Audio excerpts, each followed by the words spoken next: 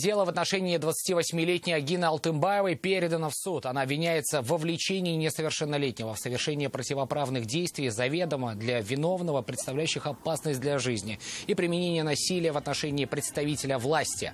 По версии следствия, 10 ноября 2019 года на автодороге М7 «Волга» обвиняемая усадила за руль движущегося со скоростью 130 км в час автомобиля шестилетнего сына. Все это снимала на видео, которое разместила в интернете. Меньше чем через две недели в отделе полиции в городе Мамадыш женщина порвала составленные в отношении нее административные протоколы, ударила сотрудницу полиции по руке и толкнула ее, при этом разбросав по кабинету лежавшие в шкафу документы. В результате ее действий сотрудница полиции получила телесные повреждения. Причастность совершения преступления она не признала. Следует отметить, что ранее обвиняемая пять раз привлекалась к уголовной ответственности, а также 33 раза к административной